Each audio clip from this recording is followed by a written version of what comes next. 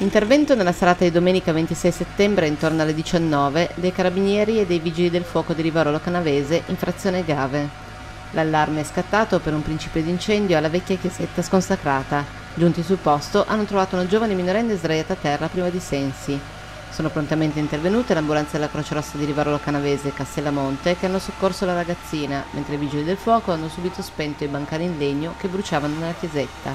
La ragazza, che non è in pericolo di vita, dopo le prime cure è stata trasportata all'ospedale di Ivrea.